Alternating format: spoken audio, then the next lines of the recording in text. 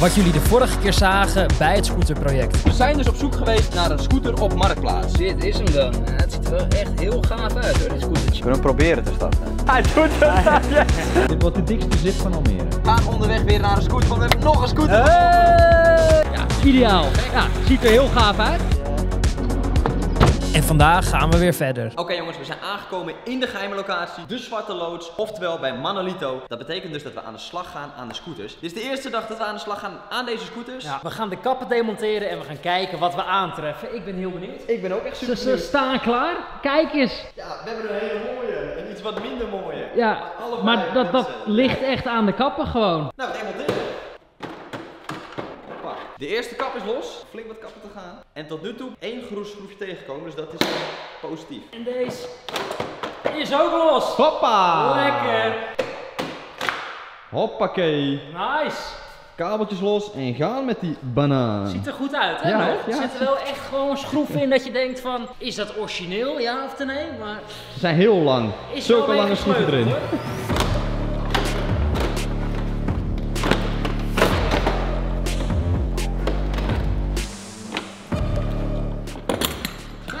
Die ging makkelijk.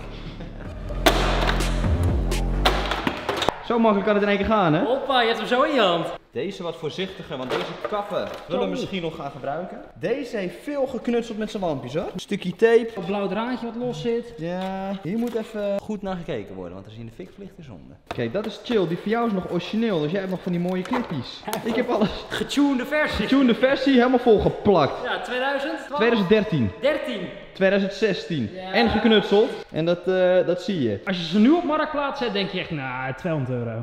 250, 230. 35. Nou, oké. Dat. Nou ja, Ja. doen we, doen we, doen we. Het is helemaal kaal bijna. Alleen het voorkantje gaat ons straks, nog straks mee helpen. Die krijgen we echt niet los. Dat Nee. moet iets met het wiel omhoog, wiel los, kap eruit. Ja. Die erbij staat, is eh, netjes hoor.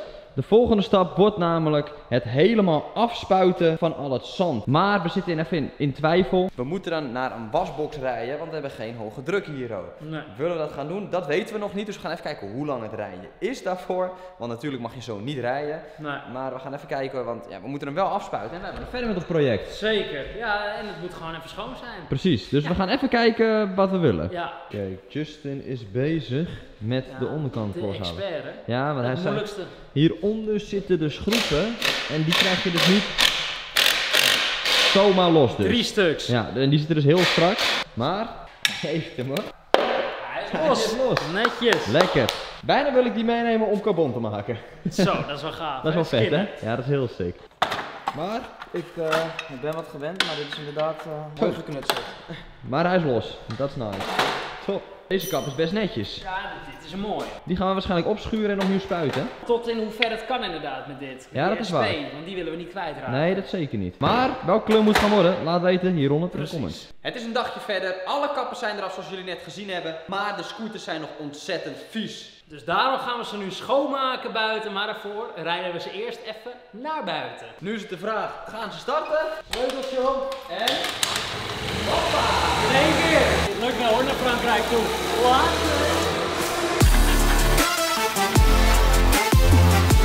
En natuurlijk een prachtig mooi voordeel dat we carversview.nl hebben waarbij we schoonmaakproducten kopen voor auto's. Maar je kan het ook gebruiken voor een scooter. Zoals hier heb ik de Heavy Duty Cleaner. Nou, het zit vol zand en noem het maar op. Ik spray hem helemaal in. Doe ik met de velgeborstel ga ik alles cleanen. En let op hoe schoon de scooters worden.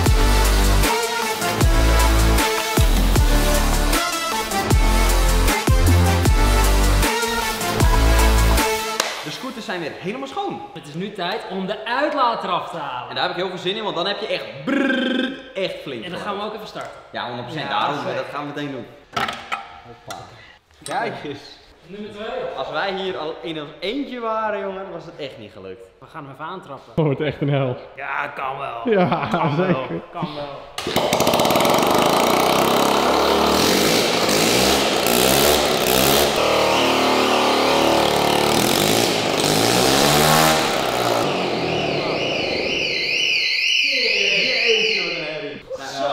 Daarom mag je dus niet rijden met open uitlaat. Nou, zoals jullie hier zien, dit is de kartenkap. En de kartenkap heeft zijn standaard kleur. Wij gaan hem namelijk in een andere kleur spuiten, maar daarvoor moet hij wel eerst gedemonteerd worden.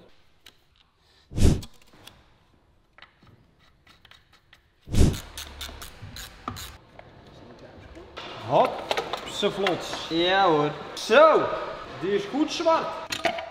Hoppa. Voordat we konden spuiten, moest hij eerst schoongemaakt worden.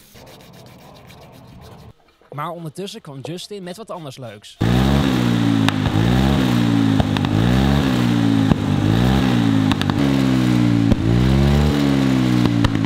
Jongens, dit willen wij ook op onze zip. Dit is echt niet normaal. Dit willen wij ook. Dit willen wij ook. Kan dat? Moet, moet mogelijk zijn met 80 cc. Let's go. We staan weer bij de scooter en hij heeft een grote beurt gehad en het klinkt nu nog harder. Ah, dit, dit willen wij ook. Dus wat een beurtje met je scooter doet. Ja, niet alle beurtjes eh, eindigen zo, hè? Niet allemaal. maar dit willen wij ook. Maar we beginnen bij een beurt, dus Ja, let's go. daar gaan we mee beginnen. Ja. Wat zijn ze mooi schoon, hè? Keuze genoeg, hè? Zo. Keuze genoeg, gaan ja. we Welke gaan we doen? Jij zit ook na te denken, wat is de beste voor nu? Eh, want ze krijgen allebei een beurt, maar we gaan er even eentje filmen, want ja, het is niet boeiend eh, hoe we twee precies dezelfde beurt Inderdaad, krijgen. gewoon lekker eentje filmen. Maar wat zijn ze clean, jongens. Ik denk ook Ja, netjes, hè? Black op smeren, weet je wel, dat is Ja, nog we hebben goede producten. Ja, hey, trouwens, zieke aanbiedingen hè, nu op de website. Car Wash Check het even. Echt, ja, dit was, was net ook al, maar echt super. Ja, Check het. Mega aanbiedingen, Check ongekend.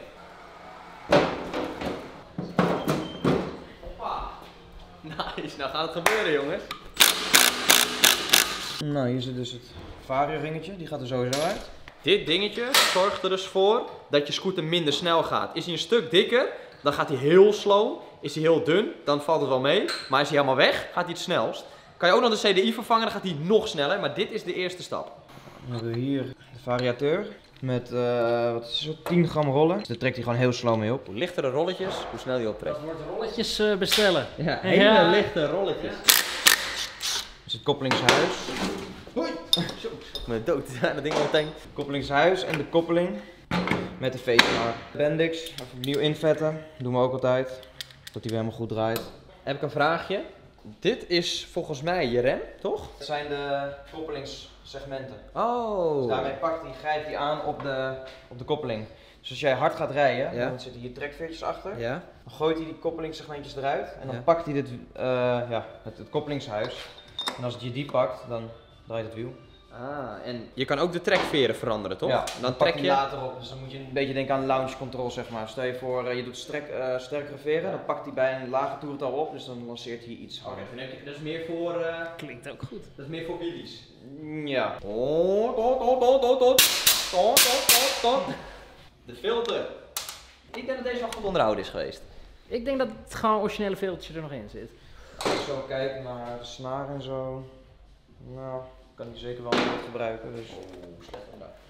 Maar het elementje ziet er nog wel netjes uit.